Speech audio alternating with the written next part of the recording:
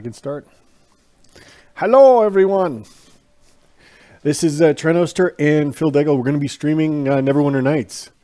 And I'm looking at video myself running really slightly laggy behind me, so it feels a little twitchy.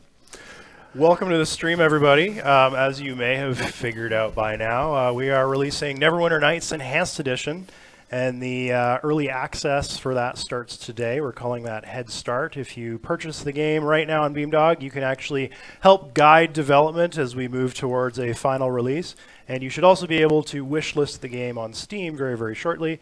And as we continue through this uh, Head Start program, uh, we're going to have more announcements about what platforms will be on, uh, features, et cetera, et cetera. So today is the first time we're showing off Neverwinter Nights Enhanced Edition. And uh, as Trent mentioned, you got uh, Trent, you got me, Phil, and off camera we have Jonathan. All of us together are going to be playing some Neverwinter Nights. We're going to be uh, trying out DM mode, all sorts of fun stuff like that. And we're also going to be giving away lots and lots of Oh. prizes. Yeah, to get a shirt, you have to uh, kill someone that we tell you to kill. So that's the only way to get a shirt. I'm mostly kidding about that. Mostly. Uh, so, Neverwinter Nights, the big question is what's enhanced about it? Why are we calling it the Enhanced Edition? Well, we've been working on it for honestly over a year. We've been working in consultation with a bunch of people from the community. We kind of set up uh, an informal advisory group that we uh, we brought on board uh, as well. We've had a couple members of the original dev team that now work as part of our team, and we've been kind of rolling it forward and looking at the game and, and kind of first the mandate was kind of fix what's broken.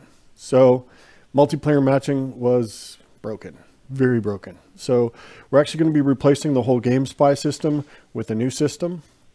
Another big part of what's enhanced about it is for persistent servers. We're actually going to have the master authentication server active again. So you'll have your account on a persistent world. It will be your account. It will be secure. There won't be a lot of hacking concerns about that. Although there's always hacking concerns because hackers are really good at what they do. But we will do what we can to make it solid.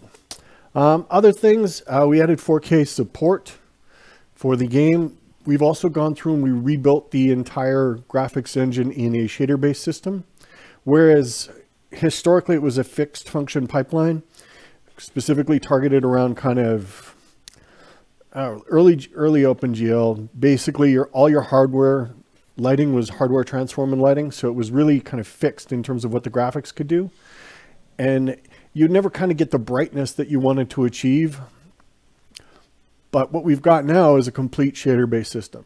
It's accessible. You can get in there, mess with stuff. Way more powerful. We've added a couple post-process effects just to kind of show things. We've also added access. You can get to the depth buffer. So you can do a lot of really interesting kind of post effects. Um, when we get running, I kind of I'll poke in and I'll show you guys some of the effects we've implemented so far. But one of the things I want to kind of call out is this is an announcement of Neverwinter Nights Enhanced Edition and we're going to be kicking up a limited beta where we bring people in and we work with them to make the game better. But a big part of that is the game's not done. And the game will be done some magical point way down the road because there's so much we can do with Neverwinter. There's so much. It just blows my mind how much. I was in love with the concept when we worked on it the first time, and I'm still in love with the concept today. I really think this kind of idea of a tool set and the democratization of game design, allowing people to make their own adventures, coupled with an online little mini MMO. One of our, Jonathan earlier said, it's like an MMO with just friends. I think there's so much power there. And then you add in the DM client, there's so many things that Neverwinter can do. And the fact that the matching was broken, it hasn't gotten a lot of love lately. We were able to grab that code base, move it forward is just awesome. I'm so excited about it. So what we're going to be doing here is we're going to be playing a module together and uh, it's to Air is Human, which is one of the premium modules. So I have logged in. Um, while we're uh, getting set up here, some other stuff I'd like to call out. Native Mac support is back, uh, so it's not broken anymore. Um, Linux support is back on the table. Basically, the game is back to where it used to be. Um, I used to play Neverwinter Nights a whole ton on Persistent Worlds back in the day, and uh, to see it in the state that it was in was kind of sad because like there's no way to find games, and if you really really wanted to find persistent world servers, you had to go to a third party matching service, and it was just a big pain in the butt. So I'm happy to say that um, how multiplayer is going to work is exactly how it used to work. You're going to see a list of all of the uh, servers out there. You'll be able to freely join them. Basically, the Neverwinter experience that you remember, just way, way better. Um, we also have a question about mod compatibility. So Neverwinter Nights is the modules that were produced. That is what the game is. Um, so for us to go in and break compatibility with those mods would have been insane. So the standing order as we work on Neverwinter Nights Enhanced Edition is don't break the galaxy of really, really great content out there that already exists. So we're happy to say that we've maintained mod compatibility with this new version. Um, some community content might need to be updated. We'll have to take it on a case-by-case basis, but our goal is to basically make the lives of modders as easy as possible because those are the people that have kept Neverwinter Nights alive for this long. So one of the things, if you're watching my screen right now, you can see here, I'll just start toggling some, some of the video stuff we've done. So we've added in advanced frame buffer effects. And we've also added in uh, resolution and, and uh, UI scaling. Because I'm only at 1080p, I can only run the UI scale at 1. If I go above 1080 to 1920 by 1200, I can actually do a 2x scale. And on my other computer, my main desktop machine, I'm actually running at 4K and I'm running 3x on the UI. So this fonts are bigger, everything's bigger. You can actually play the game at that resolution. The other thing here, the advanced frame buffer effects, so we've got a high contrast setting, a vibrant setting, and enable depth of field. So here I'll toggle the high contrast off. So what you're seeing here is that Neverwinter by default, because it was a hardware transform and lighting engine, could only go essentially from full texture saturation to complete darkness. So what the vibrance do, or the high contrast does is it actually takes in and expands that dynamic range, essentially remapping the zones. Vibrance goes in and it saturates the colors. Similar process, just a different kind of shader that does that. And this is just us getting started on it.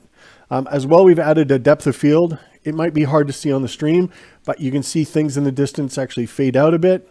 It's actually pretty cool little concept. So we'll leave all three on because it looks better.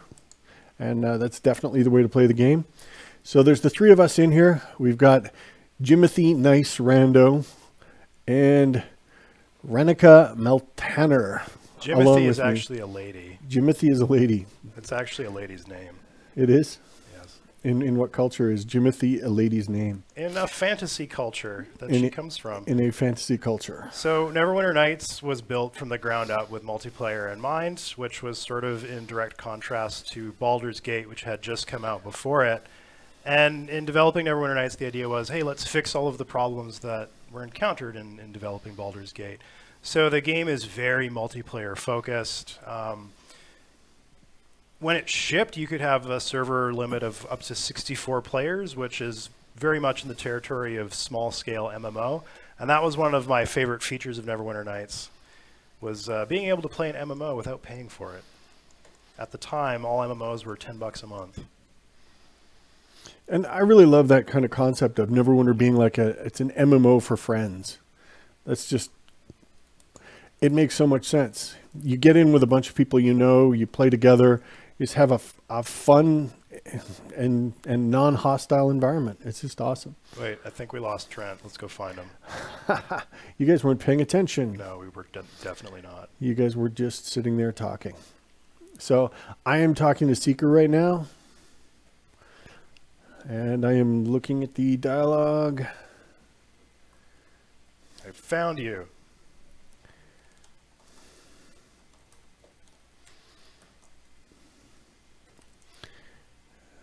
So the Seeker is telling us his story. Basically, there was 20 brave companions. They fought with valor, but 13 of them died, and only seven are left, and only two are still in fighting condition. I'm going to attempt to persuade. I think my barbarian kind of sucks, though, in terms of his persuadability and I failed, which is not awesome. I'll guilt trip him a bit. I will go to my death if you don't help me. and uh, he pretty much wants to see me rush to an early death. Awesome. I call this quest thrice damned because of the one who began it, the ones who betrayed it, and the ones who paid for it. Listen, man, I understand that you have this intense backstory, but if you want us to find those seven guys, you're going to need to get to the point.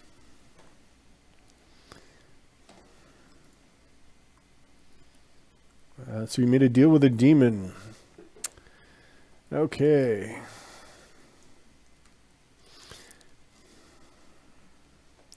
And they smuggled the child out that's to be sacrificed to the demon. So the Zhent showed up and slaughtered the Baron. Hey, there's a guy just hanging out in this camp here. Jonathan, let's go attack this ox. Why do you have to attack an ox? It's innocent. This ox could be anyone's ox. If we attack it, maybe we can tame it. Uh oh, we've got Drow. Well, Trent's busy uh, lining up, up a contract for us. We're going to... Oh, I didn't actually mean to attack it. Well, they don't seem to be mad, so I guess nobody owned this ox. This deer, however, I'm pretty sure no one owns that. Yeah.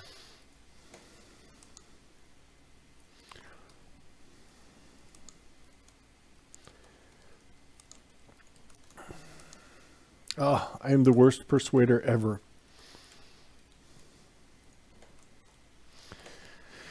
Okay, let's pop up the journal. Where are we going, Trent? What's the quest? Um, we're basically going after some drow. I'm taking on the role of the uh, lovable but not paying attention sidekick, like Donkey from Shrek. You know, remember his antics? I believe you are Donkey from Shrek. That uh, that seems appropriate. All right, we got Ranica Okay, this way, and boys. Tomar, and of course me, Jimothy. I can here. cast spells, so I'm pretty cool. Okay, we've got Eamon Gale here. That guy's asleep. Look at him. Stream is looking like poop when you are moving. Maybe a video setting. That is possible. Oh, he's singing. He's not sleeping. All right. Is he guarding the door? I haven't really been paying attention. He seems like the kind of guy we should kill, though. Next time. Okay, we have a problem. How do we get past this door, Trent? You're the party leader. He has opened the door for us Oh, nice. Well, because we spoke to Seeker. If you were paying attention in the plot, you would have got that. So, for anybody who doesn't know, Neverwinter runs on the third edition Dungeons and Dragons rules. Uh oh, spider. Why am I sensing poisoning in my near future? Another spider.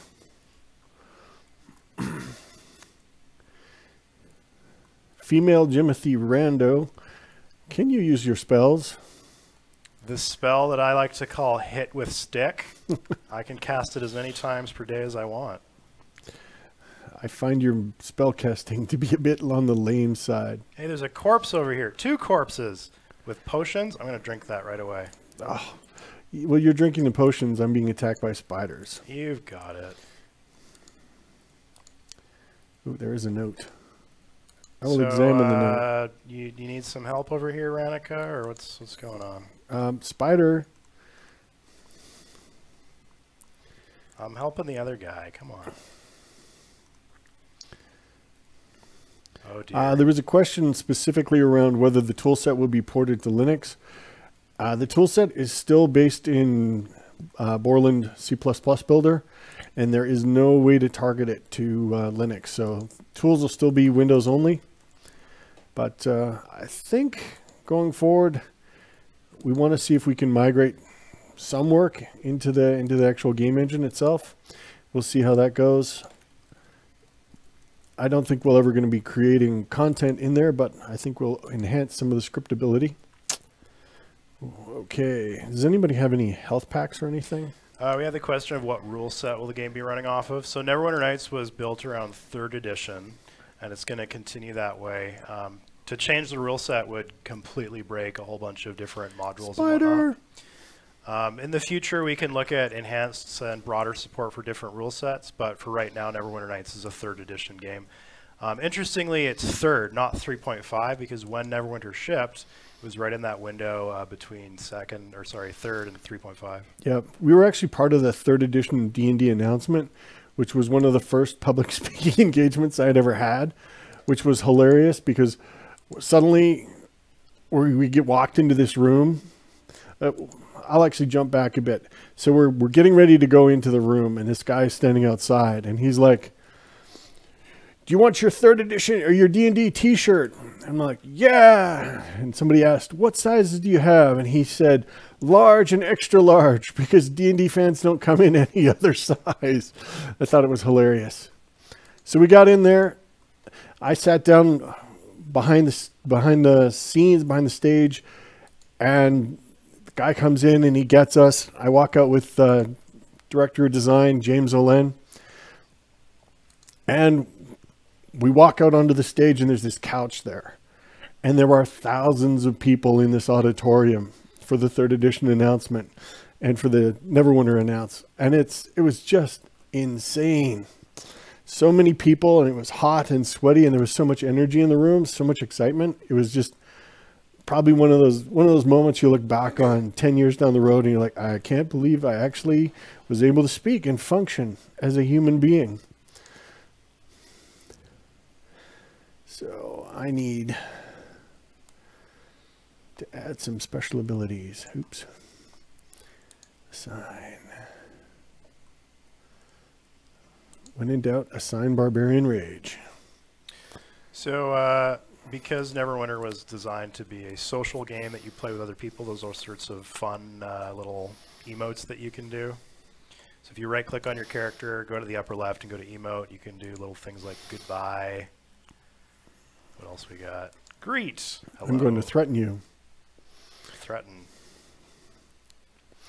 Um, is a question about multiple core support. So the original game wasn't very processor friendly. It's a little more processor friendly right now, but you're still going to see it totally saturate one core because that's how the majority of it's going to run. Um, I think that's something we can look at going forward, but I don't think we want to put a ton of effort into to specifically multi-threading the client. I think more might be more payoff on the server side. Is it going to have 64-bit support? Yes, um, we are going to port the game to 64-bit. Um, our roadmap for the game makes that a requirement, so you'll be seeing that eventually. Yeah, at some point we'll probably post up a roadmap on kind of what main features. Uh oh. Are all the expansions included? Yes. So everything that you get in the oh, dang it! There's uh, Way to go, running around the corner and Leave, run away. okay, hide, hide. Just get out of there. Okay, now ambush them. Ambush them around the corner. Come on, Okay. you guys, ambush. Why is this like Listen, my pen I and see paper a group? guy in armor. His name is Bugging Assassin. off and running away. My brave, first thought is he's probably going to take more than one hit to kill. Well, well done, Jimothy. Well done. We see your cowardly ways. Um, one of the questions was what expansions are included. So everything that was in the Diamond Edition is included in the base game now. Um, and that also, uh, we're also putting up the Yike. soundtracks and the premium modules that previously were not available for purchase, up for sale again. priestess. Um, they used to be in the BioWare uh, premium module store, but that got shut down. So for a long time, there was no way to actually get these uh, modules legally. So we're fixing that. Um, we're also going to be releasing the premium module soundtracks as well for the first time. Um, so we're basically just trying to make it the best possible version of Neverwinter that just comes with as much stuff as possible. ah, my guy's in a funk. Man, these uh, these Drow are a lot less I am Scary than I had decreased led across the board. I think I'm in need of some rest. What do we got? Let's rest. Oh, we can't. There's enemies nearby. Yeah. Two gold. All right. Drow aren't quite as wealthy as they were. Wait, wait, wait. Okay, so were. before we go in here, let's uh, let's back up. Uh, this looks like a fairly big room where I think we can maybe hide out in the back corner and rest. But I wanted to give people some T-shirts. No, people don't want T-shirts. Is that true? Do people not want T-shirts? Nobody wants a T-shirt. Nobody wants this. Is what you're saying? So if I understand correctly, Trent is the reason that two people in the chat right now are not going to receive this beautiful Neverwinter Nights Hey, t-shirt in the size of their choosing. I don't want that on me. Well, in that case, we're going to take a quick break here to give away some stuff. So, Dan, if you could uh, be so kind as to paste two names from the Twitch chat, and we will give those two people some swag. So I see a couple questions. Um, can we still import portraits? Yeah, we're not going to change that. Um, kind of our whole philosophy on Neverwinter Nights Enhanced Edition is to make it bigger and better and not to reduce functionality in any way. So we're always going to try and make things bigger, better, easier to play with. Um, next question, system requirements. System requirements are going to go up because you can't buy that kind of machine anymore. It just doesn't exist. And uh, if you wanted your GeForce 2, it's not going to not going to work very well. Hey, I ran. gr- I actually ran the game on a GeForce 4 MX, which is like a step down from a regular GeForce 2. And I'm pretty sure that if you could get your hand get your hands on a, on a GeForce 4 MX, the game would probably run on it. Yeah. Since we're staying with kind of the existing art level, I don't think we're going to be very heavy in terms of requirements. Down the road, when we start adding new content, that'll be when requirements start to go up. Let's just say that if you have a machine that it doesn't run on, I will be extremely interested to know A, what it is, and B, why you haven't gotten a new one in 20 years. Yeah, feels feels really encouraging you to get that 4K monitor and pull your GeForce 2 out of If storage. you roll in with a GeForce 2, I will buy you a new video card. I am paralyzed. All right, so we're stuck here. So the T-shirts, um, the uh, the right, contest yeah, had been held. One T-shirt goes to Twitchagore, which is awesome, and uh, the other goes to Malcolm the Griffin. So hook up with Dan. We'll get your address and stuff, and uh, we'll we'll mail those out to you because they're they're they're pretty awesome T-shirts. I'm I'm a big fan, even though I have a third eye going on in my chest now. One guy was like, hey, is that the Eye of Sauron? And then I slapped him in his face. It's better than the Eye of Sauron. That's right. It's the Eye of Neverwinter. It is. Okay, so this door is very clearly locked, and I don't think any number of us attempting to open it is going to change Did that. we did we find any any bodies? Uh, no, you know what? We need to go to the north. We need to go this way. I'll, I will follow you, Phil. Follow me, boys. Jimothy leads the way. So one of the biggest things about Neverwinter that makes it awesome, besides being basically like a mini MMO that you can play with your friends, is having a DM client and Oh, being yeah. able to jump in and actually actively control and modify the adventure while while your friends are playing. So what I'm going to do is get Phil, as opposed to running ahead of us and triggering all the enemies so they come ambush us. I'll get Phil to bop out, and then we'll get him to jump in as the DM. Now, anybody who's played with the DM, I think you'll enjoy it. Uh, if you if you haven't played with the DM, it's kind of hilarious the things you can do.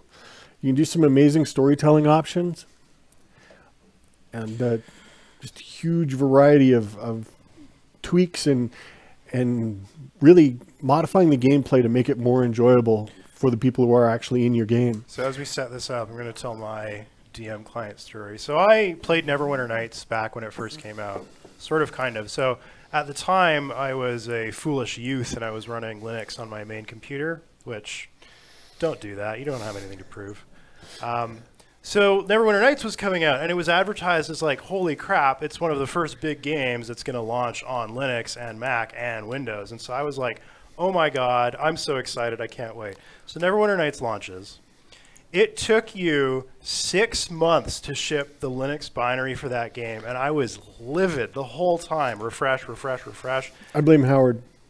I mean, you shouldn't feel too bad because, like, I pirated the hell out of this game, but you know, I was justified. No, you weren't justified. You were a jackass. So in the end, I had to scrounge up a valid key instead of just pirating it, and I started playing on these persistent world servers, which were awesome because it was like having a little mini MMO. And some of the absolute most memorable gameplay experiences I've ever had was when a DM would join the server and take everyone on the server on this like custom handcrafted adventure. And sometimes the DMs would just like screw up, like, ah, I accidentally clicked the button that teleports everyone on the server to where I am, so I guess we're having an event now. So that's the kind of stuff that to me made Neverwinter really, really memorable and awesome. Um, I remember once, so everyone on the server, there was like 20 of us. We got teleported to the depths of this horrible dungeon. And then the DM was like, well, you guys are all here. Collectively, you should be strong enough to survive. So I'll just let you guys sort out a way out on your own. And they did, and it was awesome. All right, I'm in as the uh, the DM client now. So I'm going to sneak up on these guys. So they can't see me, but I'm actually in the same room as them Ah, right now. Bloody hell, drow, assassins. Oh, always kill the mage. Always kill the mage. Bloody hell. You summoned a dire wolf.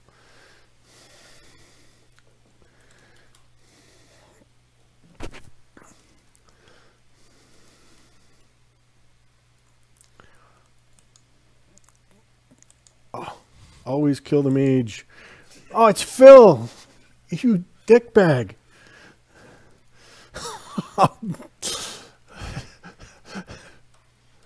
So one of the things you can do as a DM is you can possess monsters. I wondered why the drow ran away. No, kill it, kill it, kill it. You'll never catch me. Do you have a missile weapon? Oh, bloody hell. So Phil could actually target, toggle himself invulnerable at that moment if he wanted. I'm gonna kill you. You're going to try. Ah no! All right. Well, I love it. So one of the questions was around the tool set and the stability, and we have recompiled the tool set for uh, PC. We've done some testing on it. Um, so far, we're pretty happy with the with the stability of it. I think one of the big things we want to do with the beta program is get more people poking it and seeing what can happen. So another thing that you can do in DM mode is you can create creatures. Uh, yeah. I'm level five, dude, and you you spawn in a, a dragon. Nice. Here, let me cast a spell on you. Um, a heal would be good. I would I would totally take a heal. I wouldn't go that far. Let's see. I'm kind of rusty at my uh, my DM client, so let's see. No, I can make the dragon run around. I can do a Well, little you've, you've jaunty thing. possessed him, and you can basically play as the dragon. Well, Uh, one of the out. questions was I mentioned director's cut a while back. What is it? Uh, it is nothing. So once upon a time, I said, you know what I'd love to do? I'd love to do a director's cut of the original campaign. And I like to go in there and, and basically cut half of the redundant content that was kind of like padding. I think with Neverwinter Nights Enhanced Edition, we're not looking back, we're looking forward. And I think a big part of looking forward is focusing on what do we add to the game? What do we make better? How do we make it an even better experience?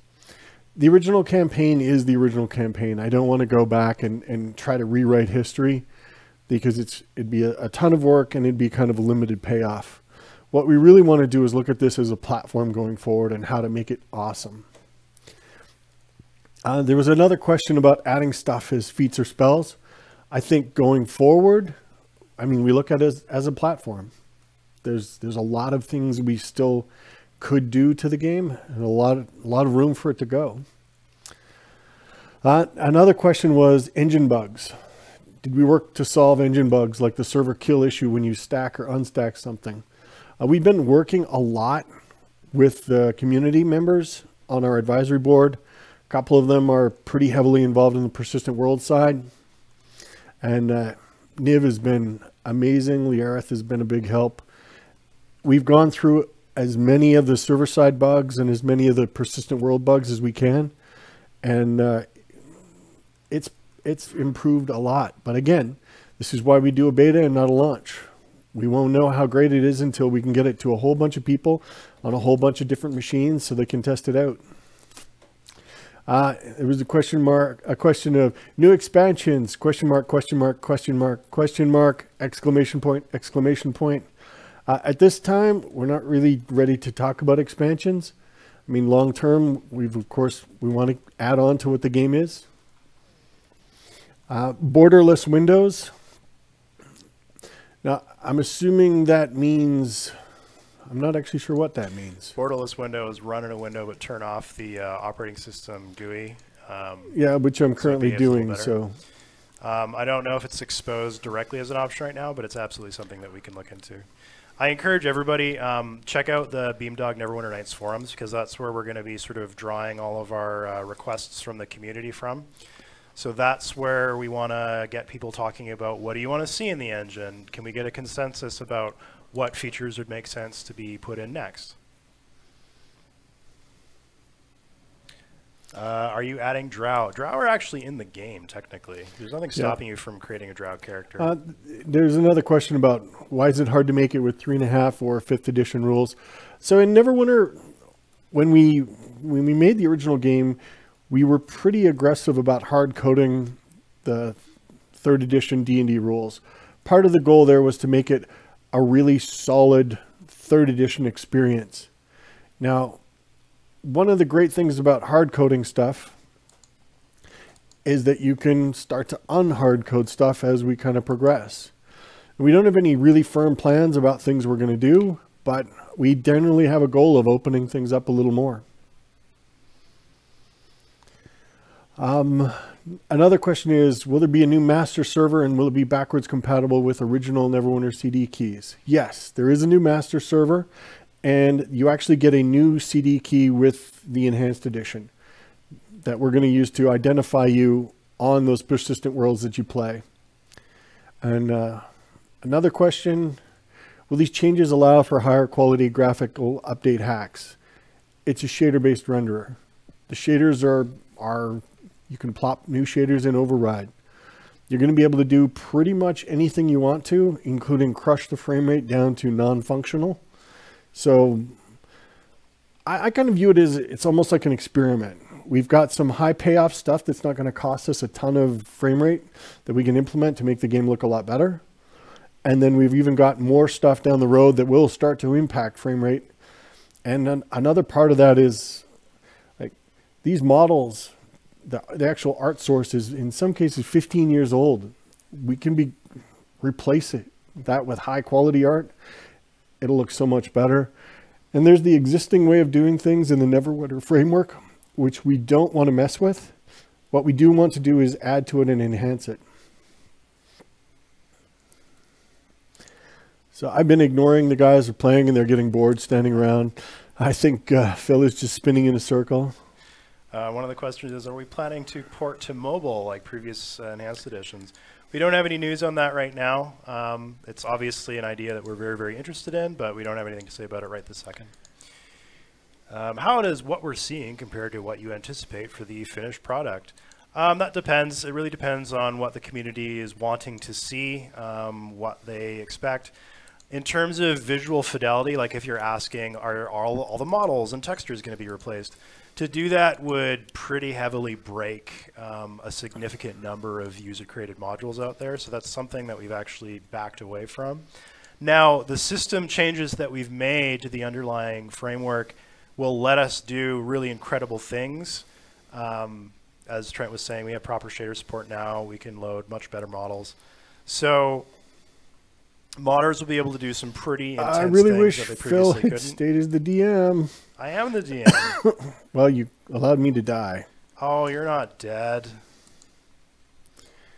Oh, Can- you are dead, but you're I am way, dead. way over there. Can you jump me to you? I suppose I could. Jump to DM. Wait, how do you do that? There. Thank you. See, this game is a lot easier when you have an omnipotent god helping you out. Jesus, where are you guys? Get up. Get up and fight. As always, Phil is the Cheaty Von Cheaty. So, did you answer the question about uh, how does what we're seeing compare to the the the anticipated right, final so project? overall, we're not going to massively overhaul the visuals because, as we mentioned, that would break a lot of user-created Holy- content that's out there now. But you can create some pretty incredible things, and any uh, expansion content that we create, we can do uh, visuals that drastically exceed what you see in Neverwinter Nights right now. And I think a big part of that is just allowing for all the things that people want to do. Like going in and being able to mod the game and and and really make it that much better. Like there's so much power in the modding tools that a lot of people just haven't had the time to explore. And one of the big things with Neverwinter is it was actually used by a lot of universities and, and colleges, specifically teaching game development, game design. And that's one of the things I'm kind of really excited about going forward. I actually spoke at MIT to a group of students who had used Neverwinter to build essentially almost like a, a, a computerized version of telephone based on kind of the Civil War era. And it was um, is basically studying kind of rumor propagation in a virtual environment. It's a really cool experiment. So, uh, Phil, since you're the DM, um, I, could use guys a little bit of fight a, something? I could use a little heal right now before we go fighting anything. Okay, well, if I'm going to heal you, then you have to work for it. So enjoy. Uh, so, there, thanks, Phil. So there's a question about available languages. Um, it's going to support all the initial languages that Neverwinter shipped with. Uh, right now, it's English only because that's the beta build that we've kind of deployed. Uh, there's a question, what's the difference between the standard and the deluxe versions? The deluxe version really includes the premium modules that Bioware made back in the day, also includes the soundtrack. So that's kind of the main difference. It includes kind of those optional things that to some people will add a lot of value to the game. Ooh, chest. Shiny. Uh, easier ways of creating custom content. Creating new mod, mod uh, new models, specifically art. Trent, I think uh, I think Jonathan needs help over here. Um, I'm, I'm just going to ignore Jonathan and run away because obviously you've set up a, a very, very bad This is actually part of the module. I didn't do this.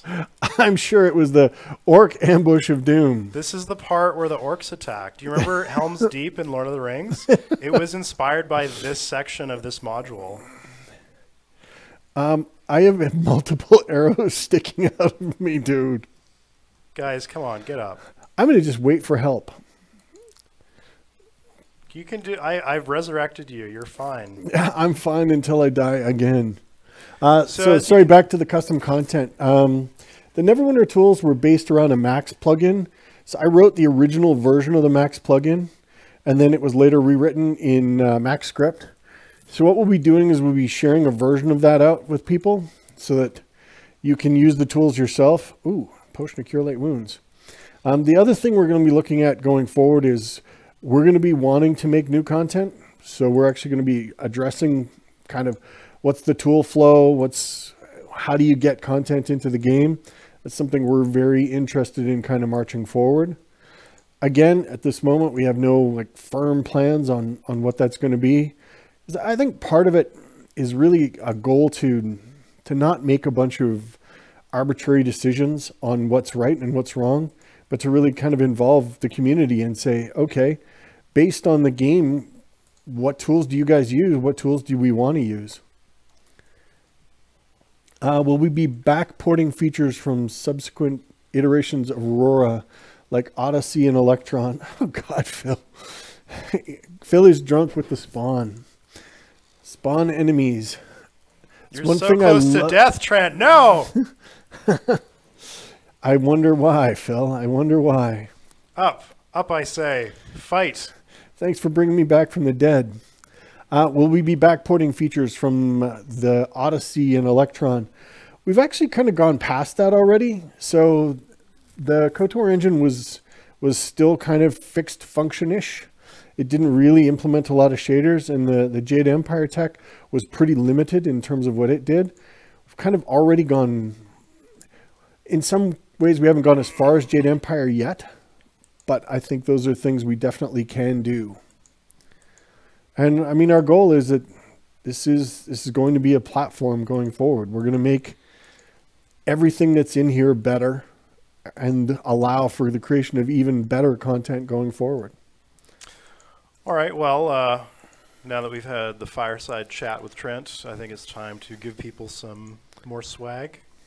As soon as you guys complete your new quest of guiding this nobleman, or commoner, I should say, out of the caverns. There was a commoner. We had to guide It's him out. me. I came up with this whole quest for you with all the orcs, and then you saved him. and now he's like, help me get out of this cave. Dude, I'm going to kill the mistress. I don't know where she is. She's up over here. The door Well, that we couldn't fine. open. The other guy will help me. The door that I totally ignore him, Jonathan. Oh, He's forgot. miles away. he's the DM, I'm going to teleport to him. I have opened the door Oh, that was locked. There should be a boy somewhere. where's the boy? Wait, okay, hold on. I'll create a boy for you. No, I don't want you to create a boy. I want to actually find the real boy. Uh oh, more drow. Hmm. You know, Phil, you're only useful when you're healing or respawning me from the dead. That's hurtful. All right, I have become a shopkeeper, so I will sell you things to keep you So, alive. so Phil, you were going to give away a couple T-shirts. All right, that. I believe we have a couple winners. All right, so the winners of these beautiful Neverwinter Nights Enhanced Edition T-shirts are. Are you ready? Yeah, Yeti, you win one, and D O T T Bat dot Bat, you also win one. Two more shirts. One of the things, Phil, show off the back. It's got the Beamdog exclamation, which means that wherever you go, people will be walking up to you and asking you, "What's my quest? What should I do next?" So some guy rolls up to you and hucks down a sack of twenty like eyeballs, that probably had something to do with it. Yeah. So at that point, you give him all the money you have and you walk away fairly briskly because there's no telling what he did to get those eyeballs. Uh, so have you uh, completed the quest yet, or are you just wandering aimlessly in Um, the darkness? the answer is a bit of both. So there's a deep cavern up ahead. I'm going to take a look here because I see a chest first, though. Oh, great, spider. I am dead. oh, you want me to do something about that?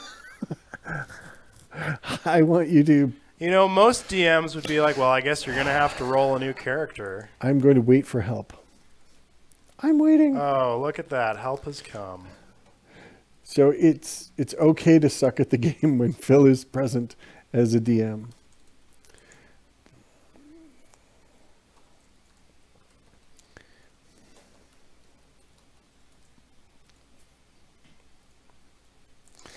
I have dealt with your spider minions.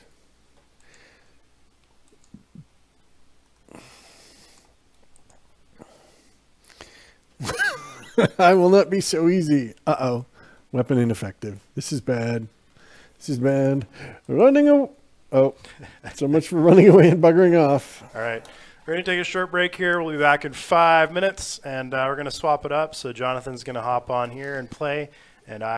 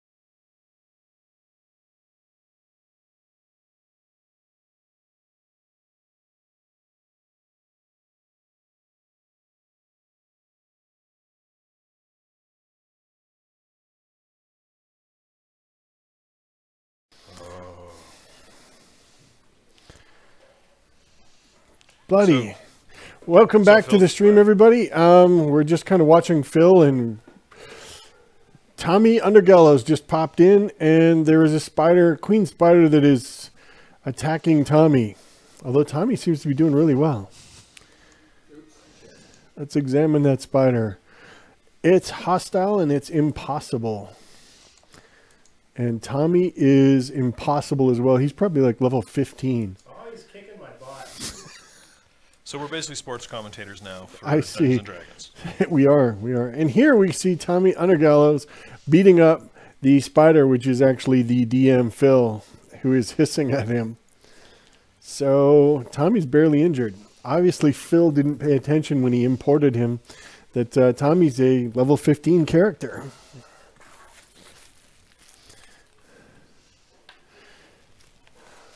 Uh, but Phil is is a queen spider. So we're just going to add a little sauce to the mug.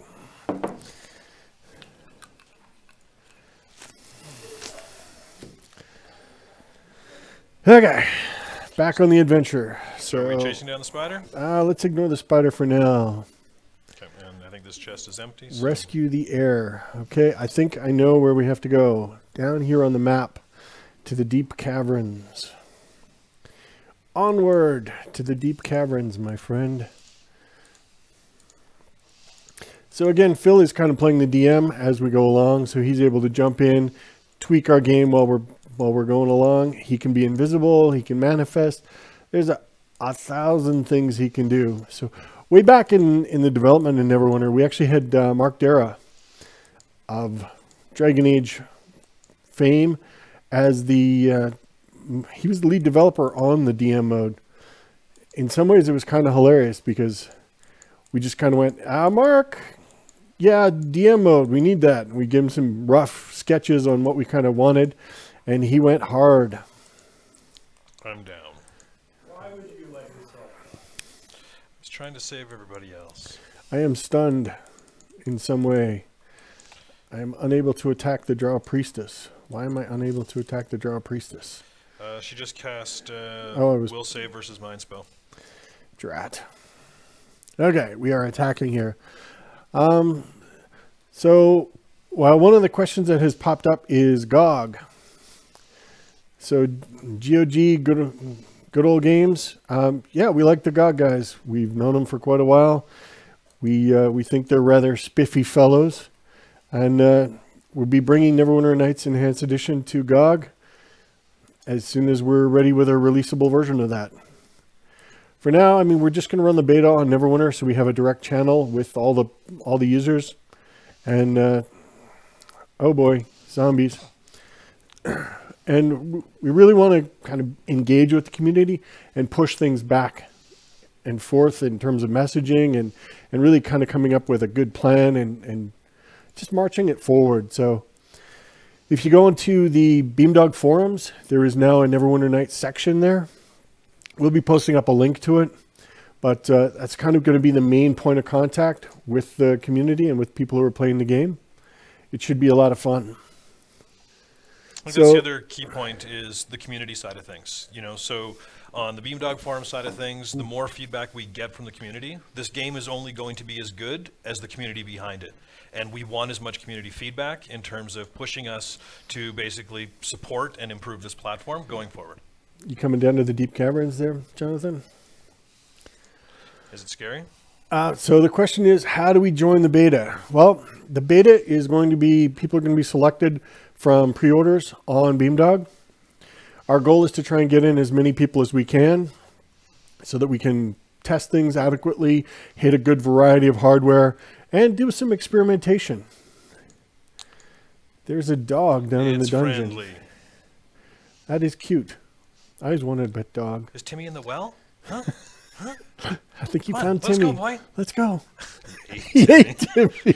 Oh God. Friendly dog. That's dark, friendly dog.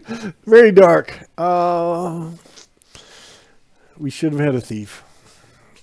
That way I wouldn't be stunned all the time. So we haven't talked about it too much, but the uh, the development team has a couple of Neverwinter vets on it.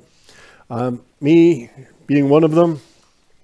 Uh, secondly, we have uh, Mark Brockington, or as we call him internally, Doc Brock.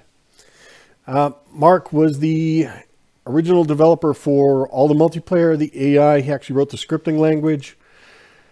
Basically, if there's some code in Neverwinter, chances are Mark has either touched it or told somebody how it likes to be touched.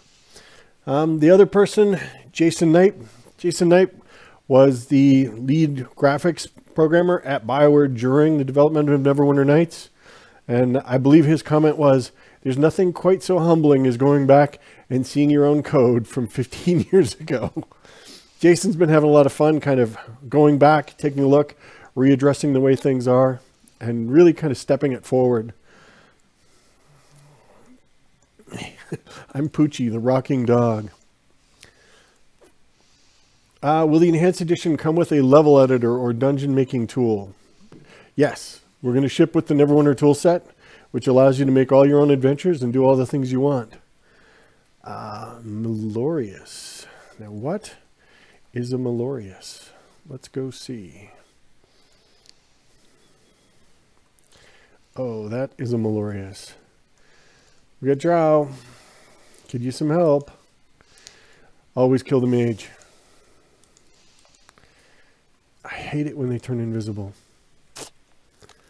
Um, there's a question. Can we get those t-shirts available for purchase? I would buy two or three in a heartbeat. Sadly, we can only do merchandise, or we can only do the, the t-shirts and such for promotional. So there is no way to buy them. Uh, we must kill Basada.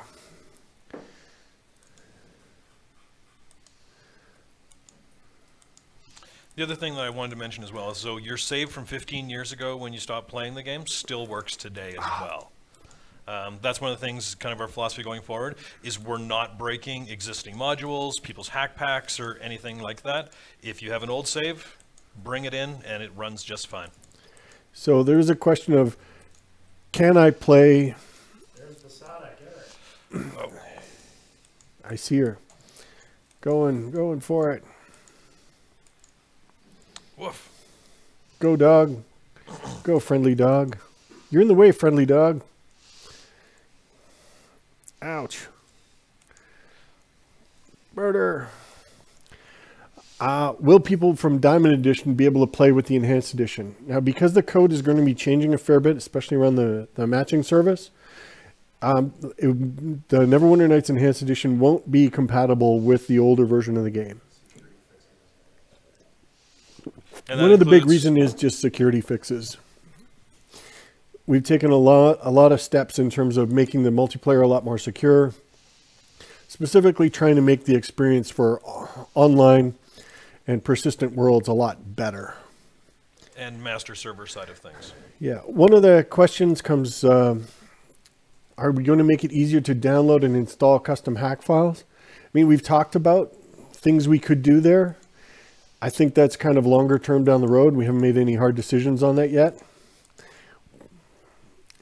It's possible. It, it partially comes down to with hack files, it's kind of optional content.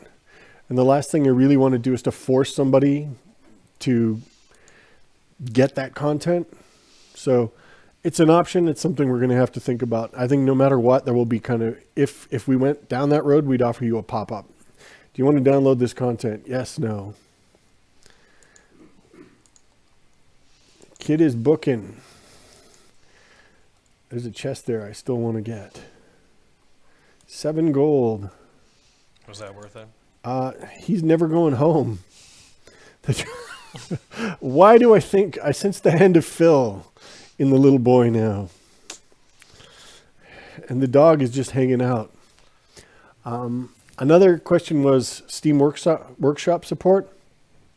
Uh, we haven't committed to anything right now, but Workshop is one of the things we're kind of looking at as a as kind of a, a forward-looking feature for it. Why are you fighting the dog?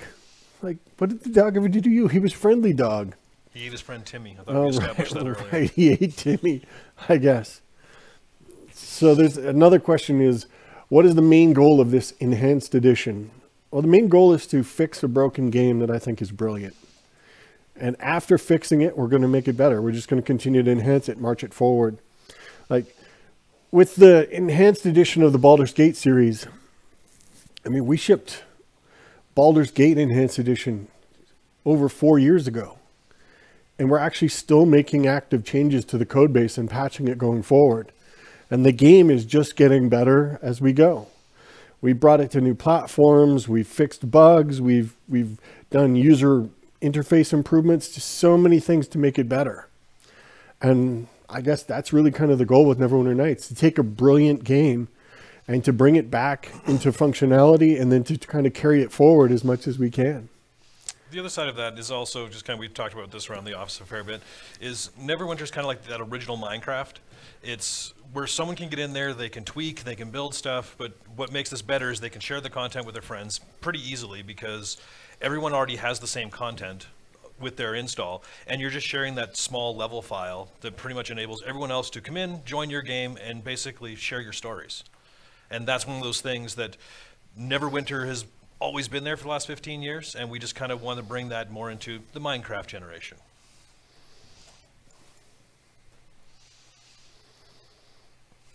So Malorius has claimed that he has Q powers, and he said, "Watch this." Obviously, I sense the hand of Phil. John de Lancie is with us.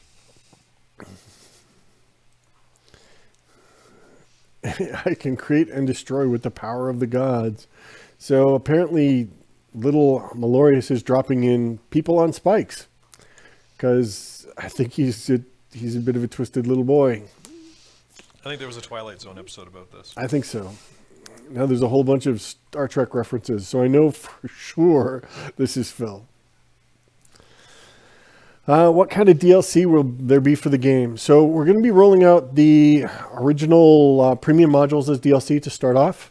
Um, as far as future DLC, we'll cross that bridge when we get to it. I mean, So the premium modules are Infinite Dungeons, yep, uh, Wyvern Crown of Cormyr, and last but not least, Infinite Dungeons. Yeah. Um, next question. Increase multi-class limit to four. You know, I don't know about that one. We'll have to go back, take a look at it. I honestly can't say. I mean, if you need four classes, I think you're taking Jack of all trades pretty far. Oh shit. Ha! The adventure does not have to end once you have finished Baldur's Gate 2. Neverwinter Allow Nights allows you to import your character from Baldur's Gate 2. Is this on the table? No, this is not on the table. Second edition D&D and third edition D&D, oh, I'm being murdered, are very different puppies. And never trust the promises of a CEO from a former company. Will the premium modules have their online authentication requirements removed so it's all DRM free? No. The premium mods will will still be bound to your account. So they're still premium modules. They're still kind of classified as such. As such, we we will will sell them separately and they'll be treated as premium modules. So somebody's saying it's two o'clock. You said a T-shirt. Give me my T-shirt. Or no, not a T-shirt. Uh, collector's edition. Where's that collector's edition? I would like said collector's edition. So, if you haven't been paying attention, this is the Siege of Dragonspear Collector's Edition. It is a big box 11.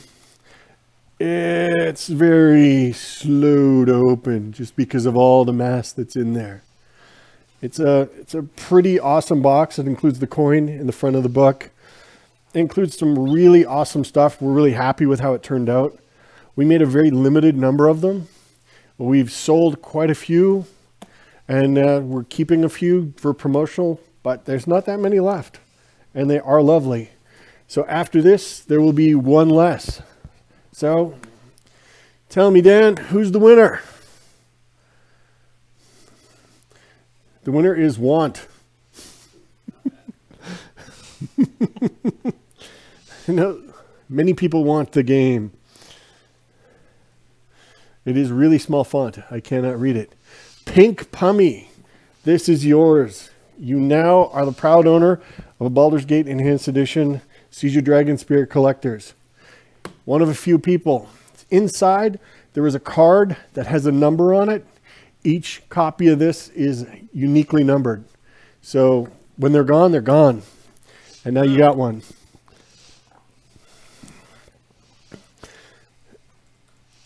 Okay. I sense Phil has jumped in on it. Um, there's a question Can you fix infinite dungeons? It was far too unbalanced. You know, it's something we can look at. I think it's going to come down to That gets into director's cut kind of territory. Yeah. And we don't want to break those things. It's one person's unbalanced would be uh, can we look into adding additional hot bars? It would be nice to have more available. Now, if I recall correctly, with your quick bar, you also have the controls and you have the shifts. So you've got 36 quick bars. That's quite a few. If uh, if somebody were to want more than that, I mean, it's plausible. I don't know if we would do it. Control shift alt. You know, there's an extra 12 right there. I don't know. I'm scared of that. Too many key combos. You open the portal to hell, man. Uh, release date for the 2.5 patch when it's done. You know, the, we learned a lot over the years, and one of the big kind of lessons I've learned is when we rush a release, we ship a game with bugs. And I think the right way to do it is we take our time, we test it, we get feedback from the fans that, yeah, this is a good solid version. Like Planescape Torment Enhanced Edition, we took our time with that. We went through multiple iterations. We had a live group that was helping us test it and verifying that it was good. And we actually had a report from our community saying, this game is good and solid. It's ready for ship. So that's kind of the philosophy we want to take with the 2.5 stuff is let's make sure this is the version we want. And when we've got that version, that's the version we're going to ship. So, uh, Phil, being uh, all DM here, you're going to thank you. I'm waiting for you to take this kid home. Okay, we got to take the kid home. Well, you got to talk to him. Um, I thought we did talk to him, and he was. I think I may have taken control and given him I think you may have broken him. So, We got to talk to the seeker. so here, um, why don't you possess little little? Uh, I want to call him Timmy now. Timmy's dad, he got eaten. So uh, grab Timmy, teleport him to the. Uh, his name is Seven. Wonderful. So Seven, teleport yourself. Oh, he's going to follow us. Okay, come on there, Jimothy Rando or whoever you are. Let's go back and get our reward. I believe 500 gold was the amount we agreed on. Can we renegotiate halfway through?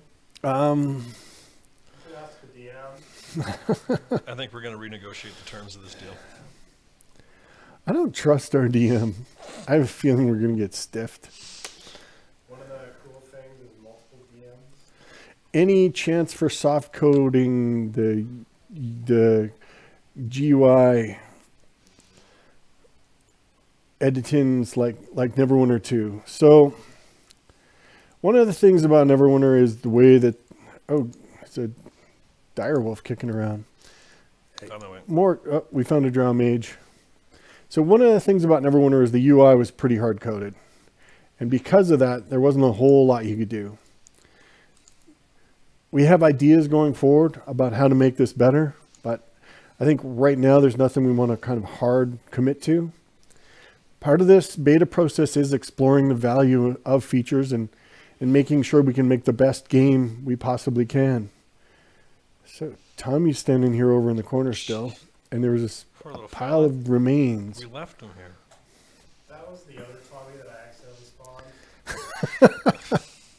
So uh, when you're a DM, be a good DM. Clean up after yourself. Don't leave garbage Tommies laying around all over the place. There, I killed him for you. I didn't want him killed. I wanted you to evaporate him. I didn't Yeah, want to deal with his lost. end. I don't want to be involved in the murder of digital Tommies. Uh, up here left. Okay. Leaving the kidney Will a Curse of Strahd module be possible? You know what? It's never Neverwinter Nights. You can build anything you want. And it's just going to come down to if you can hook up with a group that can make the art content to support it, definitely something that could be done. Do you want to? They're asking if you can change uh, Somebody's chase cam? somebody's insulting my chase cam. I actually like chase cam. Fine, I will just run it top down. But I'm still going to play as if I was playing chase cam. manual chase cam. That's just how I roll, man. Are we going to make a story mode difficulty setting? You know, we've had good luck with those so far. I don't think we made a, an official decision on that. We really kind of talked about it as what what could we possibly do in that? and I think that's something we again look at more in content going forward because I really I don't like the idea of, of revisionist history of just going in and saying, "Oh, I didn't like the way that was, so I'm just going to change it. I'm just going to rewrite history." Neverwinter and the original campaign, I mean, it was what it was, and it's. Oh, I sense Phil has been involved here. yes. And you and the boy ran off. So Well, I'm totally running off, running off and bugging off, and running away, brave, brave Sir Robin. Yeah, Neverwinter they chase you, by the way. Yeah, I know. transition. Oh, I remember back in Neverwinter in the development. So we had this bug where the, the AI was hyper aggressive and actually really, really good at finding you. So I went down into the into the prison district in the Neverwinter official campaign. Here's the kid. All right. So I went down into the prison district. I made it to the bottom and I fought the boss in the bottom of the dungeon. And the boss killed me. So I respawned back into the uh, into the temple where Aribeth was, and I don't know what I think it was messing around with my equipment or something. So probably spent about six or seven minutes there, and all of a sudden, the boss from the prison district comes busting in. And he starts attacking me in the temple. And I'm like, what the heck? Where did this guy come from?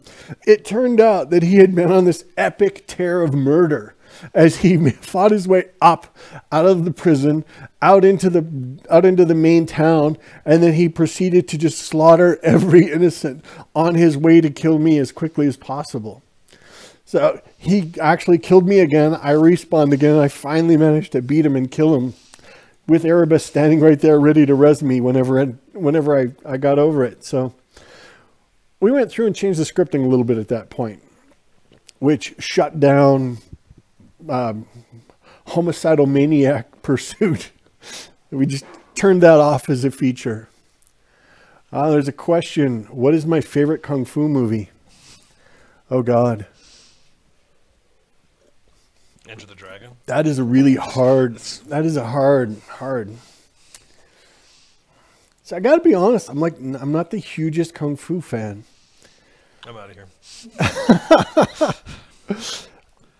I really I like a lot of the aesthetic styling of Hidden Tiger, Crouching Dragon, and uh, there was another one I watched that was just beautiful. Another thing you should know about me is I'm really bad with remembering the names of anything, people, places, movies. But uh, it was a recent recent one, and by recent I mean in the last ten years because I'm old, and. Uh, it was just beautiful. It was such a gorgeous movie. Uh, are there plans to make the editor 64 bit? That is a good question. I think our initial plans are just to keep the toolset compiling and to step it forward and to make things kind of better. As far as going to 64 bit, I mean, maybe that can happen down the road. We really have to, we just have to dig in further on that and really make some hard decisions about it. Um, another question is, are we going to work on the AI? So the AI in Neverwinter is all script based. So there's a number of ways that people, that the AI kind of runs its separate scripts. So the default scripts are pretty straightforward. It's pretty, we have essentially like a base AI that wound up actually being written mostly into the heartbeat script. So I think in the existing content, unless something comes along, we'll leave it roughly the same. But I think going forward, it's definitely something we can look at for the new content.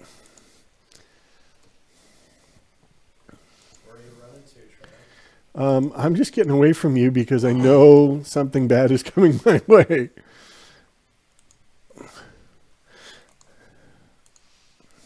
I'm going to Barbarian Rage because it's the only thing I got. Great. Yay, the Frost Giant is dead.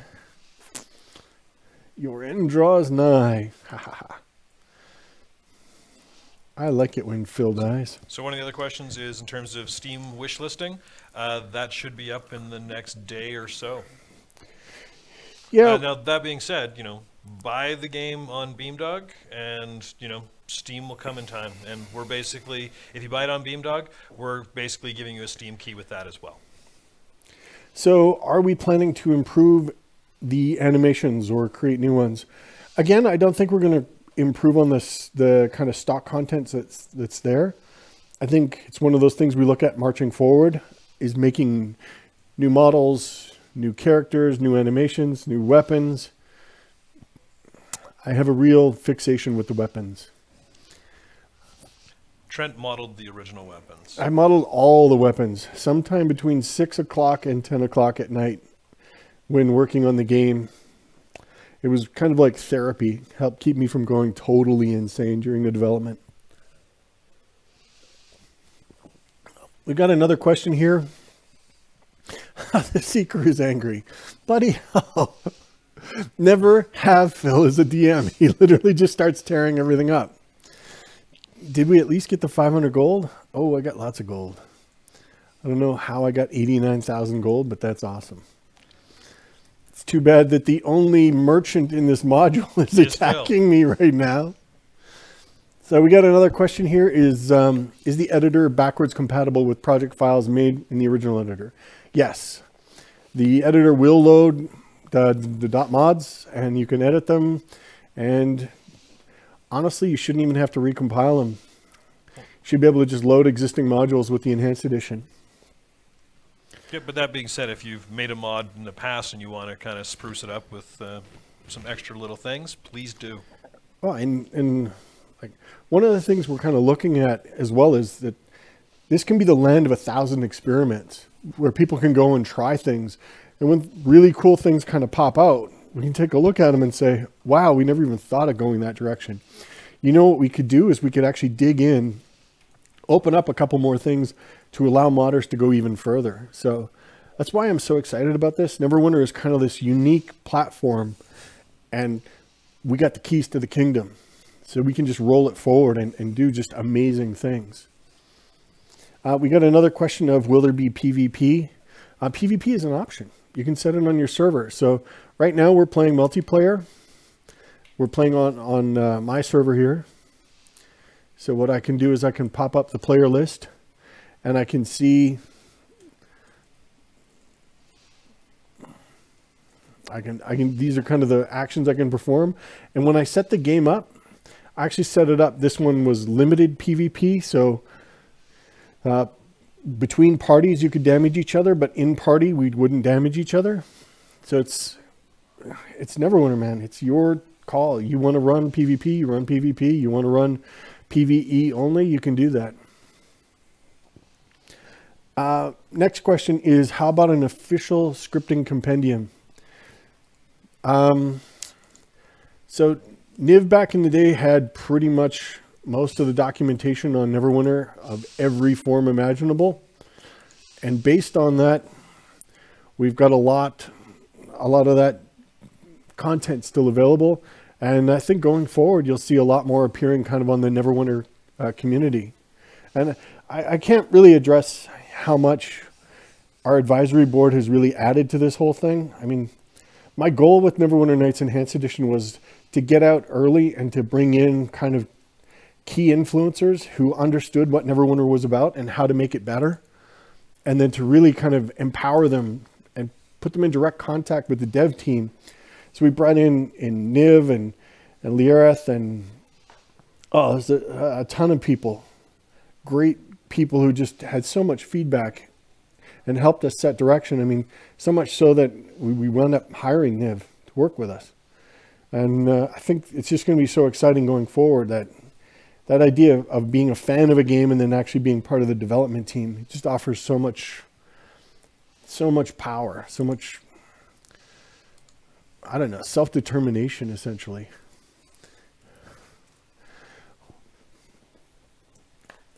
Next question is what about the hero of Neverwinter? Personally, I think the hero of Neverwinter was wrongly, undeservingly forgotten. So that was the official campaign. And I think the nature of video game development is you always focus on a few things, sometimes to the detriment of others. One of the big things on Neverwinter, we were so focused on this big package on multiplayer and online persistent worlds and portaling persistent worlds together and the tool set and modability and, and we dropped the ball on the official campaign. It just wasn't that great. As far as the hero being kind of ignored and walked away from, I think we all looked back on the official campaign, at least on the dev team, and we said, you know what? For not knowing what we were doing when we were building it, it's pretty good, but it's not our best work. We can't, we're, we're not exceptionally proud of it. I think to me, Hordes of the Underdark is probably the best thing about Neverwinter Nights. It's really when we as a development team kind of reached that that point where we understood the tools, we had expanded our process, we had enhanced the game out, and then feature-wise, it just allowed us to do so many more things. And I think Hordes is just such a great experience. One of the questions we just got is, uh, do you ever play on any servers that left a lasting impression on you after the original release, and what were they? Um, unfortunately, I don't remember the name of the Persistent World server that I played on the most, because it was literally, um, no, 13 years ago, and uh, the memory tends to develop gaps after that period Memory is one of the first things that goes. Anyway, what I do remember though is uh, it was sort of your typical persistent world server. Uh, had a population of probably about like 70 people, um, with like 20 online at any given time, and it was a lot of fun. I played on there for a few months. So the DMs uh, on there would run events every now and then, little tournaments, or they would run uh, dungeons. And in fact, that's actually where uh, the story of the DM accidentally teleporting everyone into the dungeon came from. But I'll never forget one of the more hilarious things that happened. After one of the DM events, they gave everyone who participated a reward. It was a custom item. And it was a potion, and it was called uh, Mountain Dew Code Red. And uh, it was it was a stupid potion. It, it gave you like ridiculous stats, like it gave you plus 50 to all of your core attributes and massively increased your speed, stuff like that. But it only lasted for 10 seconds. So it was sort of this joke item that they didn't intend for anyone to actually use. So everyone drank their Mountain Dew Code Red immediately and ran around like idiots for a little while, and it was a great deal of fun. I, however, hang, hung on to uh, my potion. So two weeks later, in real human time, there was a tournament in uh, the fighting pit. And so they were doing round after round after round, and I was about to face off with a guy. And I was completely geared the wrong way. Like my character was built stupidly, and it was just, it was a bad time. So this guy's coming out, and he's like, I'm going to kick this guy's butt. It's going to be easy. So I down my Mountain Dew Code Red right as the fight begins, land an immediate hit on the guy. I did like 320 damage, which was about four times his hit points. My computer's And uh, he was extremely mad and called foul on us, or on me. So I maintain that what I did was entirely within uh, the rules. He just didn't have any foresight. So that's why Neverwinter Nights online servers are great. Back to you, Trent. As far as Neverwinter Nights persistent worlds that I played and enjoyed, so I didn't. Neverwinter shipped, and uh, I basically became a Luddite for about three months. I just shut down, and I didn't have anything to do with video games. I actually spent the a big portion of that time just sitting in my garage, tearing down my uh, existing race car. so that we could I could rebuild it just because I didn't want anything to do with computers. I had done a whole lot of crunch time leading up to that. Um, when I go back over it, it was basically the first two years were fine. Year three, I started into full time, probably working, I'd say 10 hour days, six days a week. And then the last two years, I jacked it up. I was seven days a week. The end result was just exhaustion. And I really just, when Neverwinter shipped, I just wanted to go home and crawl under a, a, a, some kind of bed or, or tree trunk or something and just hide out. We shipped the game at it was like 1.30 in the morning. I went home and I slept for three days. And then when I came back in, we sent half the team home and the other half worked on the first patch. And then after two weeks, we swapped out. And uh, the end result was we got the first patch done fairly quick. And then the team stayed on as kind of a live team. And then uh, we inherited the uh, the first expansion pack with Floodgate. We did that, and then uh, the second expansion pack, Hordes of the Underdark, which I really Hordes is awesome. It really was us figuring out everything and actually kind of hitting all the beats to show what we could do. And, and Brent Knowles, who's actually working here at Beamdog, just showed the strength of the scripting language and the, the variety of things he could do. Like you could craft a golem, uh, customize your own weapon. You could control how a siege played out. It was just amazing. So Hordes is part of kind of the core uh, Neverwinter Nights Enhanced. So Neverwinter Enhanced contains Neverwinter, Shadows of Undrentide, Hordes of the Underdark, and some of the premium modules that that came out with the game. And then there's the only additional three premiums that are available. Um, I have a question here. Trent, what about Barkskin? Yes, there is a spell. It is called bark skin, and it makes your skin kind of look barky. It, uh, I'm not sure what the question means. Uh, next question I see here is the toolset for Linux. Again, the toolset's built in C++ Builder. It's probably going to remain Windows only.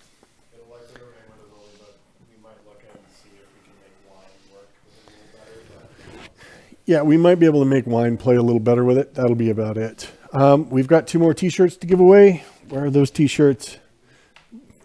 Uh, somebody ate the t-shirts, so we've got less to give away now. Okay. So uh, the winners are Grunf66 and Blessed Adversary. Oh, the question is we hate the bark skin effect. So bark skin is basically one of those hard-coded things where it goes in and it does a texture swap swaps out the player's skin with a bark skin texture. Um, all you got to do is find that bark skin texture and you could replace it with almost anything you wanted if you want to mod it. As far as us going forward, in new content, that's an option. It's something we can take a look at.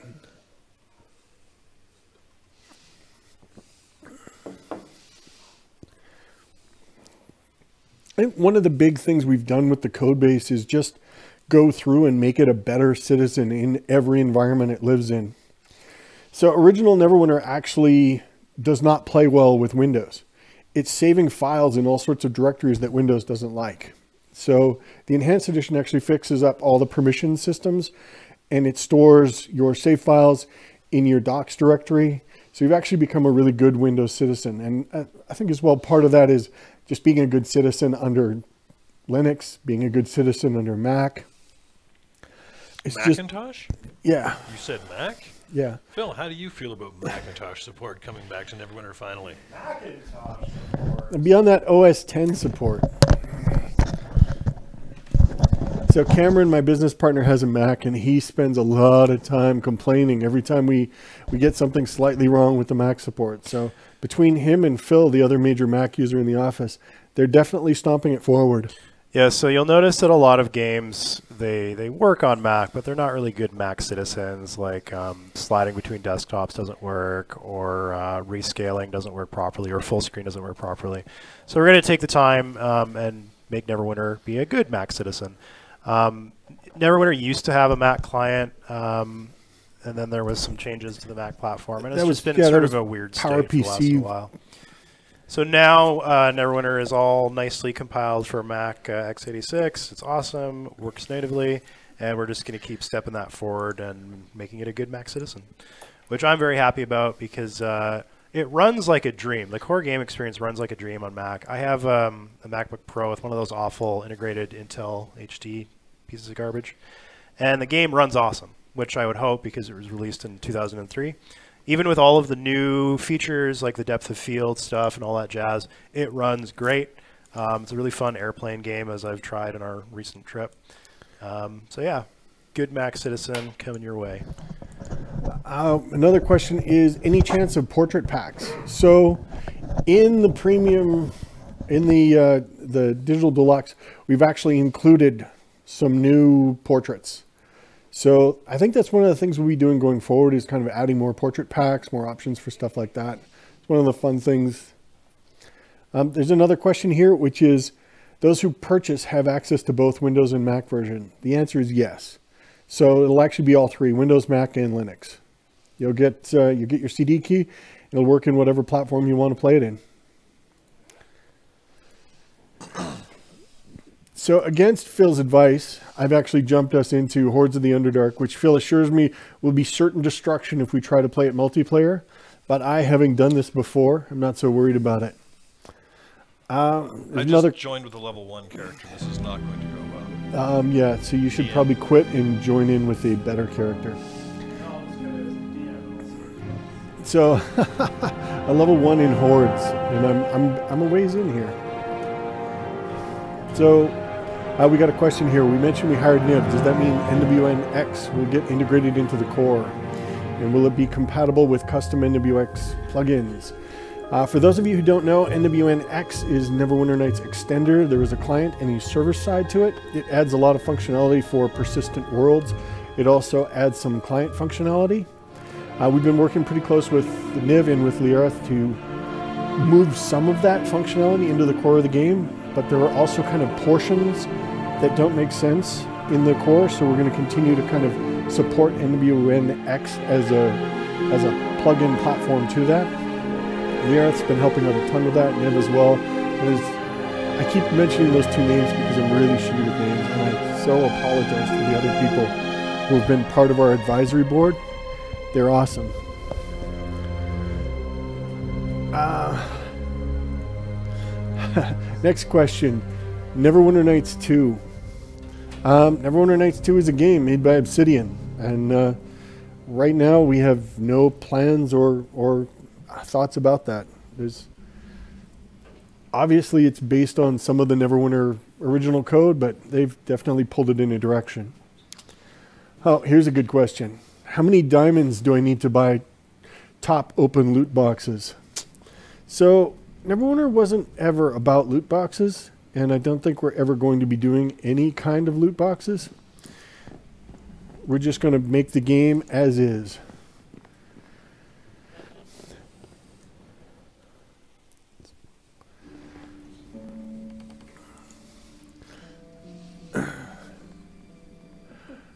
Uh, next question. How would you sell this game to me, a dummy, who ultimately doesn't understand the technical aspects or graphical aspects?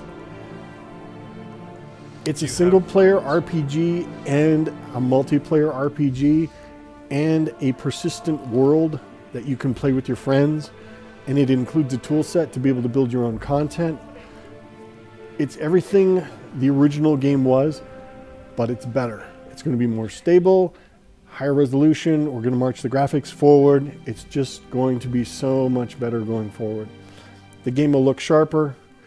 We'll, we'll it's a platform. And it's just going to get better as it goes forward.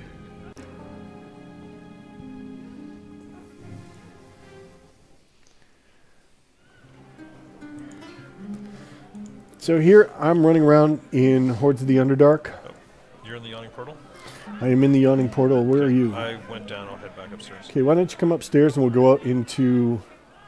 Well, I, I actually just walked down in where you are. Let's okay. actually go down into into Waterdeep proper. So the story of Hordes in the Underdark is set in Waterdeep.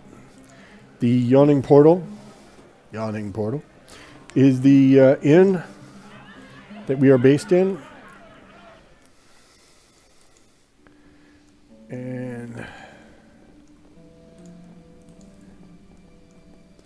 oh, I missed the, the right door. I was where I wanted to be, and then I missed the door to the outside world. So the story in Horde starts with the yawning portal. You wake you wake up in there as a character. The other thing too that Neverwinter also has, it also has LAN game support, which you kind of don't really have that much anymore. It's bring your friends over, play around on some laptops, invite Phil over as your DM. Respect uh, your betters.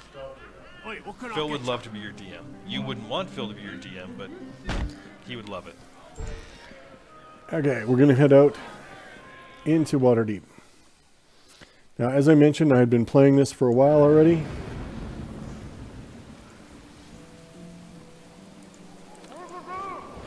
If they sneeze on me, I am going to die. Summoned a dire spider. Why do I sense the hand of Phil in this?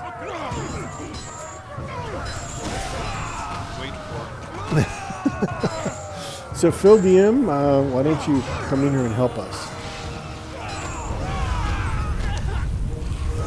I hate Duergar mages and battle clerics.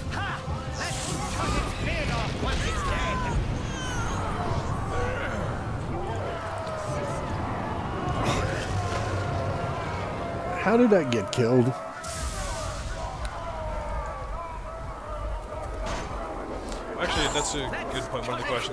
Terms of just. One of the things that pretty much allowed us to add the extra post-processing features is originally when Neverwinter Night shipped, the depth buffer for the 3D effects weren't exposed. But, you know, through the magic of Jason Knipe, we were basically able to expose that so shader writers and developers can pretty much have access to all that depth information. So we were able to add things like depth of field, ambient occlusion, and other effects that we've pretty much been experimenting with over time. Um, sorry, I missed where you were going. Um, I went that away. There you go. Um, Phil, how'd you like to give Jonathan some XP because he jumped in with a first level character, and that is not going to end well for him. It doesn't even begin well for me. at that. Somebody said, "Can we get a shout out for Darkness at Daggerford?" Darkness at Daggerford, for those who don't know, is an adventure that was created by Ossian Studios, and uh, Ossian is led by Alan Miranda. Alan Miranda was my producer on Neverwinter Nights, and then he left Bioware after that. I love Alan. I think he's a brilliant human. I think Darkness at Daggerford is pretty awesome. And uh, big shout out to it. Um, any plans to improve dedicated server client with additional admin features? Dude, we got Niv and Liareth and people poking this thing. They're going to be telling us on a daily basis how we can make it better. And they've already taken steps to make it better. And we also want you to tell us what we need to do to make it better. We have a we have a rat named Boo running with us. He squeaked. I will say greetings, mighty Boo.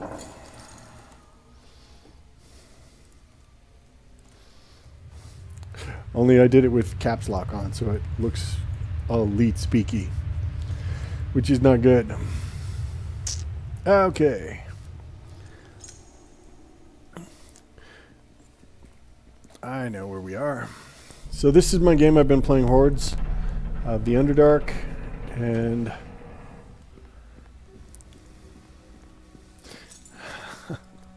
I can see that the small boo wishes to go for the eyes. I welcome you as a companion, Boo. Hey, Boo, there's somebody who looks just like you. Is Boo going to make friends? Boo is attempting to make friends. Come, Boo. Adventure awaits us. Um, are textures going to be redone or models is a question. Actually, we're not going to go in and redo the art content for the existing content. There's so much content there. When we looked at it, I put together a budget and it involved the GDP of a small nation. Neverwinter is that big. Like when we set out to make Neverwinter, we didn't use Baldur's Gate as the target. we actually used Baldur's Gate 2 at the, as the target for content. And that was for the original game. So for Neverwinter original release, we made all the content that Baldur's Gate 1 and Baldur's Gate 2 had together. Then we did two expansion packs on top of that, which is an insane amount of content. When we look back at it, it was just impossible to go through and redo that content on a reasonable budget. The other point I'd like to make is our philosophy going forward on this is we don't want to break existing content. And in a lot of cases, modders have used the existing tile set or the existing textures to get the exact look that they wanted. We don't want to interfere with that. So any new content that we will be building will be in parallel to the existing content. We're not going to replace the existing tile sets or or force you to basically upgrade your tile set. We're going to create new things that you have the option of using in new mods going forward but we don't want to break the existing community. So here we are playing Neverwinter Hordes of the Underdark. Um, we've gotten past the Room of the Four Chains, and we found the Flesh Golem burger. It was created by Halaster. And I'm basically telling him, yeah, we found the Four Chains. Um, he's very happy that we beat them up.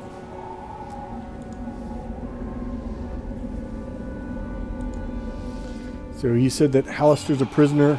His dad is in the clutches of them dark-skinned, pointy-eared, silver-haired, no-good drow. Spock.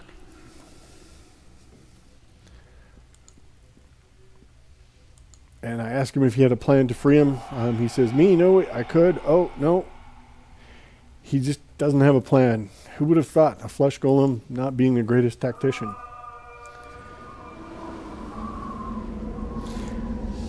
Yeah, community is pretty much focus of what Neverwinter is, and when we were looking at you know things that we wanted to work on here at Beamdog, Neverwinter's always obviously been close to Trent's heart because you know he was the original project director on it. But we've seen things like the the master server no longer working, and there's hacks that people have had to do to kind of rebuild that community. We have those assets, we have that talent, that passion to bring Neverwinter back and fully support it for the community that pretty much has pretty much been running pretty strong. But we want to rebuild that community and bring new users into that base so that there's more stories to tell. And that's one of the things that is super important to us is maintaining and fostering that community around Neverwinter.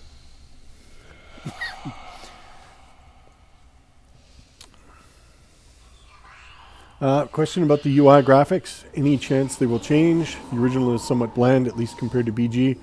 Uh, we went through a long process on Baldur's Gate, really kind of thinking about the user interface and, and where it needed to change and where it could change. Again, I think we're looking kind of forward at it. I think there is a way we can evolve the UI going forward that maybe we don't address the historic content, but maybe we address going forward. Uh-oh, under attack already. Just popped into the new area and we're under attack by Drow. So, I'm actually using an intelligent sword and it likes to talk to me periodically. It's kind of hilarious. It fires off all sorts of voice cues talking about how it loves the taste of elf blood in the morning. Can you come back up here? I need to help. You're getting murdered. Yeah. Can you take the one at the bottom of the stairs across? Uh, the one. Let's try the five at the bottom. I like it better when I zoom in and I don't see it. you don't see quite the magnitude of thing you're, you're going to be attacked. Uh, here's a question: If someone had told you 15 years ago that there would people, there would be people still playing and developing for Neverwinter today, would you have believed it? That would have depended on when in that development cycle I was asked. There was, oh my God, somebody killed Boo. There was a, there was times when I thought we were going to change the world. That Neverwinter was the most amazing, biggest project of all time. And uh, there were moments of depression on on any project that long, where we're like, oh God, this game, it's not that great. It's not going to be the best thing ever. We're not. Oh God, we're failures. We're faking it. And I think that kind of happens with everybody. But it did change the world. Like we've got programmers here that are in their early 20s that Neverwinter was their first thing that they started to mod or program on. and that's what got them into the game industry. So it kind of has changed the world. So, in retrospect, I'm glad, but I probably wouldn't have anticipated it. Um, fix the water graphics bug. So the water graphics bug, back in the day, there was um, there was specifically there was a, a very proprietary way of of accessing advanced shader-ish features on on video cards of the day. And one of the things that that you would do is you would actually use um, OpenGL extensions, which were non-standard and which were specific for video cards. So, with regards to the shiny water, it actually was specifically to ATI cards, and then we later did a version for NVIDIA cards, and it was just buggy. It was just, it was not the greatest thing in the world. And there's currently a water fix that Niv uh, has worked on that's actually in our dev build, in our nightly right now, that you know, once people pretty much buy the game over at Beamdog, and if you can get into the beta side of things on our Head Start program, you can go in and start testing the new water stuff and giving some feedback on that because we would appreciate it. Hold your weapons. I mean you no harm. So here I've met Nathyrra, who was written by uh, Drew Karpyshyn. Um, Drew was a long-term writer at Bioware. He was a lead writer on Mass Effect. Um, this was one of the one of the characters that that Drew wrote as part of the project. Can you inspect my character for a second? I can inspect your character. Look at that portrait, fellas. You were near death. That is Yep. a new portrait. That is one of the new portraits, and I think I posed for that portrait a year ago. That's spiffy. Your attack is increased. Jesus. Hi, boys. Phil does not like idle hands. So I was having a nice talk with Nathyrra, and then suddenly She transformed. a Minotaur Brute showed up. I don't have line of sight.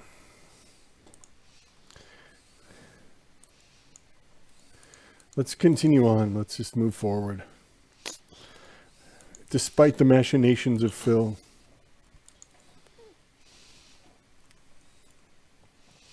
But one of the questions that was asked was, is this game available right now? What is available right now is you can pre-order it on Beamdog, which will ultimately unlock a Steam key for you. Or if you want to go through the Steam approach, uh, in the next day or so, you should be able to wishlist it on Steam. And once the game is available, Steam will kindly send you out an email saying, hey, The game Let's is go. game is available for purchase. Oh my god. When that many people are casting spells, it is time to run away. Running away and buggering off. Oh god. uh, Phil, anything that you want to sign off I with? am Do we want to do another slowed and t-shirt? I am darkness. I'm going to slide over there, pass this over to Phil. Run away! Run away! Hello. So uh, I hope everyone enjoyed uh, watching this stream today and listening to Trent tell stories of the development of Neverwinter and talk a little bit about our plans for Neverwinter Nights Enhanced Edition going forward. So to summarize, for people who didn't watch the total stream, uh, you can buy Neverwinter Nights Enhanced Edition right now on Beamdog.com, and we are coming soon to Steam, GOG, and a whole bunch of other places. If you buy the game right now, you get access to our Head Start program, which is essentially a beta where we're letting the community guide the development of Neverwinter Nights to sort of tell us what you want to see come out of this game, both from a technical perspective and also what kind of content you'd like to see in the future. And by buy, Phil means pre-order. There you go. So please uh, get the game on Beamdog, or if you prefer Steam, wait a little bit and you'll be able to wishlist it. Um, before we wrap things up today, I think we should A, give away some more t shirts, and B, talk about the question that got skipped over, which is, of course, what do we think about Spelljammer? Now, let's talk about Spelljammer for a little while. Spelljammer is essentially a D&D setting that connects all of the uh, disparate, you know, Forgotten Realms locations It's together. one of the settings that does that. It's like imagine Planescape if instead of going through some sort of dimensional portal, you just traveled through physical space, going through the crystal shield that, of course, uh, protects our entire solar system, etc., etc. Now, Spelljammer is the greatest of all of the D&D settings because it has hippos that wear plate armor and also wield shotguns. And if you don't find that combination of fantasy elements delightful, then I'm sorry, but you are a broken person. I, I think Phil is a broken you. person. I am. Uh, I am much more of a Planescape fan than a Spelljammer fan. What's not to love about it? It's basically like fantasy FTL in in the Forgotten Realms. So I F- think it's great. FTL is a happy. Those are happy three letters to put together. I love FTL, but to me, fantasy is a pure, pure beast. And when you bring rhinos in plate mail with shotgun and ships that fly through space, you break it for me. All good things. You break it for me. I'm glad that you agree that Spelljammer is the best setting of all. Let's give away some T-shirts. The first person to win a T-shirt is Futabot, nice name, and the second person is Jim Bob's Limbob, very very clever. Perhaps you can work with Bob Loblaw on his law blog. All right, I think we have uh, shown off enough of Neverwinter Nights Enhanced Edition for today. You guys can uh, stay tuned and uh, look at our wonderful "Thanks for watching" screen for a while. Well, I think, I think the biggest thing I want to encourage everybody to do is get on the forums, get talking to us, post up kind of your feature lists. That starts the discussion. And what we're discussing is what the game becomes. That's why we were doing this program, why we're doing the whole Head Start. We've got time. Let's let's make this let's make this into a bigger game. Let's let's go for a bigger opportunity here With- and we're excited about what we can do with it. Be part of it. Help us out. So we'll uh, we'll be doing more streams in the future. We're going to be playing the game, showing off how easy it is to use the tool set, all sorts of fun stuff like that. Uh, but in the meantime, head over to beamdog.com. You can check out Neverwinter Nights Enhanced Edition, see what we're all about. This is the classic Neverwinter Nights experience presented in the best possible way. It works with all of the classic mods. It's going to get better and better. We're coming out with some awesome Steam features that I know you guys are really, really looking forward to. So please come and join us as we step this beta forward. And we will be listening quite deeply to your feedback because Neverwinter Nights exists today not because of the work that we have done or the work that Trent has done, but rather the work that the community has done by keeping it alive, staying together. Um, I was really happy to see in the chat room and Twitch before the stream started, it was like a reunion of you know old school Neverwinter Nights people who haven't seen each other in years. Uh, it's really great to see the community get back together, and we're very very eager to step that forward. And one of the things, I mean, I want to call out as well is if you've come here and you, you don't know what the enhanced editions are, take a look at the Baldur's Gate Enhanced Edition, BG2, Icewind Dale, Planescape Torment. These are beloved old games that we've taken and made run well on current platforms. We've added functionality and, and user interface. Really kind of points to similar direction to what we want to do with Neverwinter. Only Neverwinter, because of the tools and because of the multiplayer, especially the, the almost like friend MMO scale that it can do, there's just so much potential here. And we're so anxious to dig into it and do some awesome. Well, thanks for joining us, guys, and we will chat with you more in the future. In the meantime, head over to Beamdog and check out Neverwinter Nights or the other enhanced editions, and we will see you again soon. See you later. Take care, everybody.